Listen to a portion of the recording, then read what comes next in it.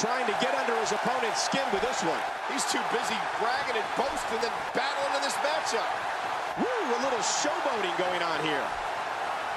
He's too busy bragging and boasting than battling in this matchup.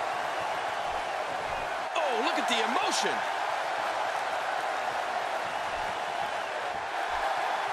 Just trying to goad his opponent into making a mistake here.